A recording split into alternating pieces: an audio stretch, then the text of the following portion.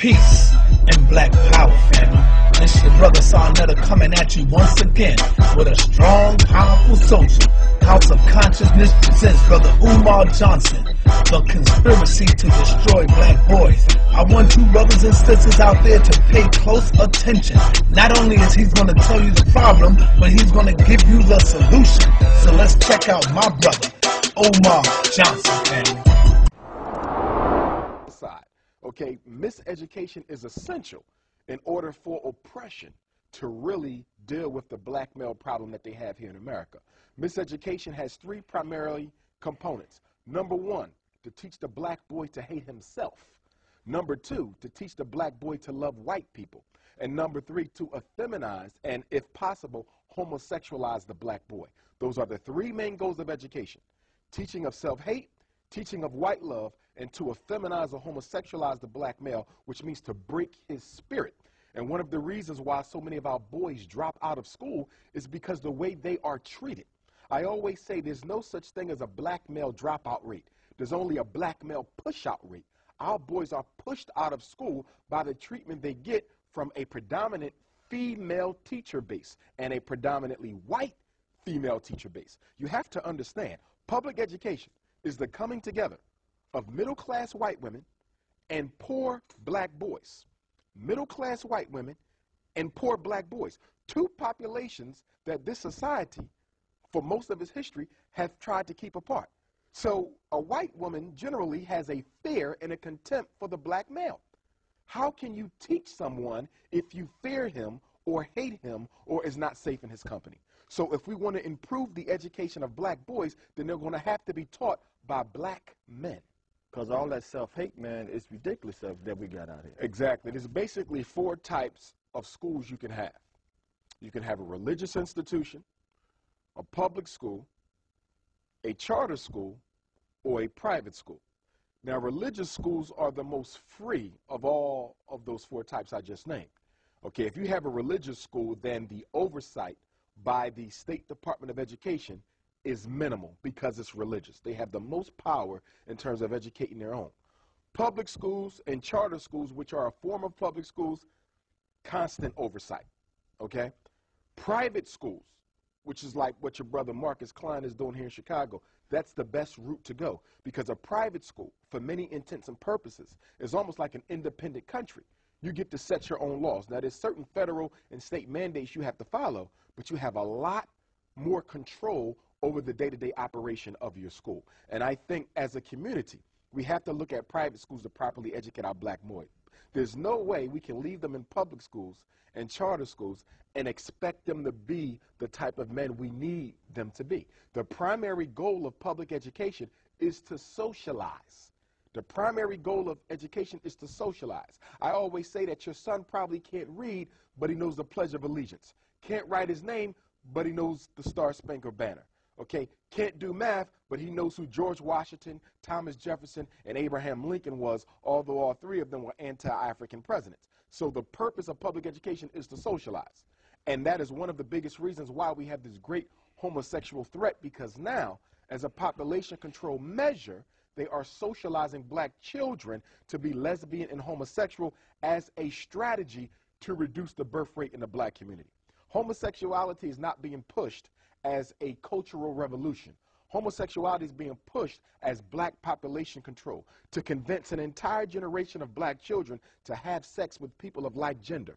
Why? Because if I can convince black boys to cohabitate with black boys, and if I can convince black girls to cohabitate with black girls, then what do I do to the black population rate, the birth rate? I cut it in half.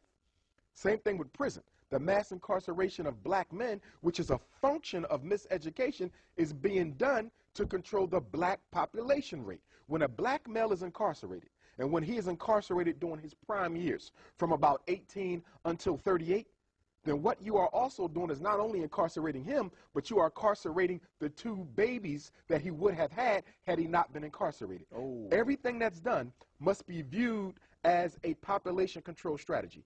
Everything that's done is population control. Even when you look at the welfare laws that were put into effect in the black community, many of them forced okay, the woman to separate from the man in order to get certain types of assistance. Everything is about controlling our numbers. So whether it's AIDS, whether it's Ebola, whether it's special ed, whether it's Ritalin, whether it's jail, whether it's homosexuality, everything is about exterminating the black gene. Eugenics means the extermination of the black gene. Not the poor black gene or the rich black gene. Not the light skinned black gene or the dark skinned black gene. Not the educated black gene or the uneducated black gene. It is about the extermination of all of us, which is why bourgeois, elitist, middle class Negroes have the wrong idea. Because many of them believe that if they accommodate the system, the system will spare them. Yes, the system will spare them until the end because they need them in order to exterminate the masses. But once the masses are exterminated, you can best believe that the elitist clique is next to follow. White supremacy does not put black people in groups, it is for the extermination of all of us. I also believe that the religious institutions have a lot to do with how we've gotten in the condition that we're in, but I also think that they have a lot to do with why we stay in the condition that we're in. For example, when you look at most inner cities, you have churches, masjids, and religious temples on almost every corner. But if you were to do a survey to find out how many of those religious institutions offer a free academic enrichment program to African American children who have delayed skills, almost none of them do. And the ones that do, they only do it because they get grant money from the local, state or federal government to do that. Unfortunately, our religious institutions have are just as selfish as individual black people have become, and they're not really interested in helping our children unless someone's going to give them money for it. It bothers me how we can have children in, on, in church on Sunday learning about Jesus, but yet they can't even read Jesus in the Bible. Or children who go to the mosque on Friday learning about Muhammad, but they can't even read his name in the Quran. My point to the religious institutions, and I don't have a problem with religion, I don't see anything wrong with them. In fact, sometimes they can be a benefit. Okay, they can be a benefit, but religion is neutral. Any institution is neutral. It's how it's used. Religion was used to help fight for the end of slavery, but religion today is being used to re enslave the African mind. So the problem with religion is that its scope is limited. It's no longer what it used to be to the community. A hundred years ago, you could go to the church in order to get a job. You can go to the church if you had social issues. You can go to the church if you had run ins with the law and if your rights were impeded upon. Unfortunately, today, the church is only prepared with helping black people get ready for heaven, but they're totally content with allowing black people to exist in political hell every day. Mm. Whenever you want to control a people, there's three institutions that are absolutely necessary to control and dominate any people. Number one, you must control the school. Number two, you must control the church. And number three, you must control the military. Those are the three most important institutions in any community. So when you look at the black community, obviously, we don't have our own community police force. So that's totally controlled by Europeans. Then when you look at the church, that's also totally controlled by Europeans. We tend to look at the mosque and look at the church and say that these are black institutions. No, they're not. The process, the mindset, the ideology is totally European. We don't have an African centered form of Islam, and we don't have an African centered form of Christianity. We got European and Arab forms of religion that are simply being managed by black personalities. Religion is the most political institution in the black community. It always has been.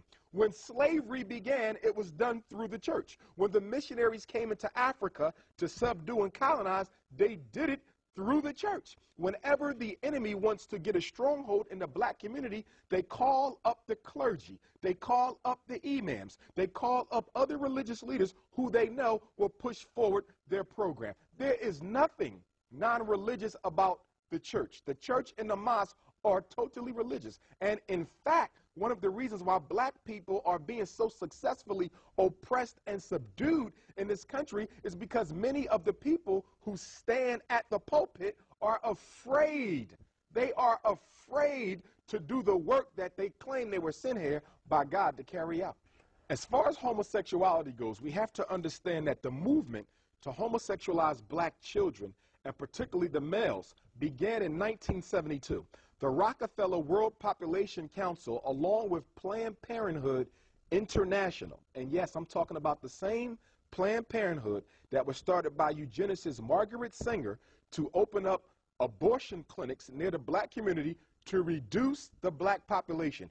85% of all Planned Parenthood abortion centers are located in satellite areas adjacent to the black community. In fact, it's been estimated that since the birth of Planned Parenthood in the 1900s, that black people have exterminated more than 3 million of their own children. When we hear these conversations about Hispanics taking over as the largest ethnic group, that's only because Hispanics tend not to kill their children as much as black people do. And the reason why we kill our children so often is because of the self hate. But getting back to homosexuality, the Rockefeller World Population Council and Planned Parenthood decided that homosexuality must no longer be viewed as a mental disorder. Up until 1972, homosexuality was listed in the Diagnostic and Statistical Manual of Mental Disorders. That's the Bible of psychology and psychiatry. Everything we diagnose is in that book. And if you are a parent, you should have a copy of it. You can get it at any bookstore. It's a little silver book with blue letters DSM 4. Okay? And what they decided was that had to come out. Up until 1972, homosexuality was a mental disorder. At the American Psychiatric Convention in 72 or 73, the homosexuals were able to uh, infiltrate the movement and was able to encourage the psychiatrists to vote to remove homosexuality from the list. So homosexuality has only been normal in America for about 35 years. Once they decided that homosexuality would no longer be abnormal, it was then decided that it would be pushed into the black public schools to control our population. In fact, Secretary of State Henry Kissinger in 1974, look at the dates 72, Rockefeller World Population Council and Planned Parenthood said we got to change things. 73, they take it out of the DSM. It's no longer abnormal behavior. 74, Henry Kissinger in a national security memorandum said that we should consider, we should consider homosexuality as a population control strategy in the black community. And that is right now, that's one of the reasons why President Obama's Secretary of Education from Chicago, Arne Duncan, is a supporter of homosexuality. In fact, the person who President Obama appointed as the Safe Schools and Drug Free Schools czar right now wants a mandatory kindergarten through 12th grade homosexual curriculum in every public school in America.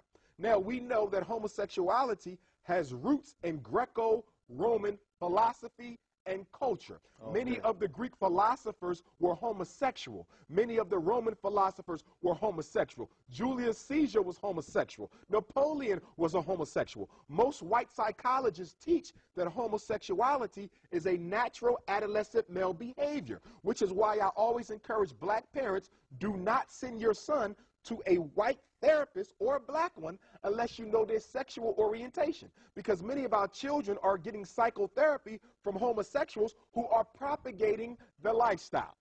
Homosexuality is being pushed to exterminate the community. They make the boys gay, they inject them with HIV, they inject it into our sisters while they get while they're cohabitating, and that is why HIV is the number one killer of black women on the face of the earth. They're giving AIDS to the gay men, and we're giving it to our queens black population